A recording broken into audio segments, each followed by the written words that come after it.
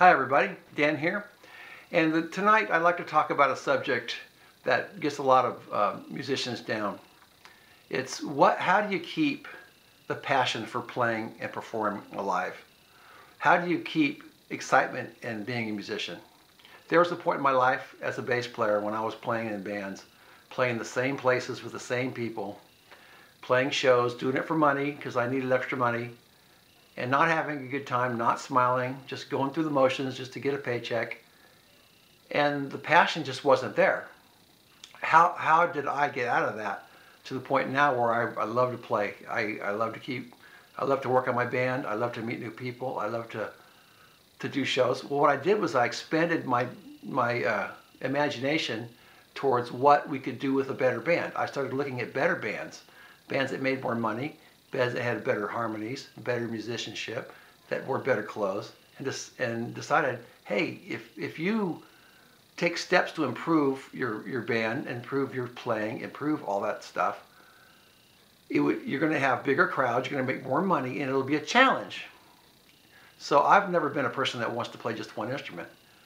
When I was playing in the Sacramento area, I played bass in bands, and our bands, I, I started, we started getting better, I started having that attitude of having, you know, always wanting to improve, find better musicians. And then I got into harmonies. And then we got into uh, stage shows, moving around. And we, then we got into, you know, presentation and, and song lists and making song blocks together.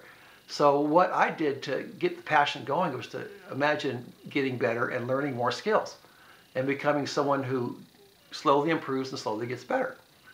And to me, that has opened up a whole new world of passion for me. It's fun to do things I've never done before.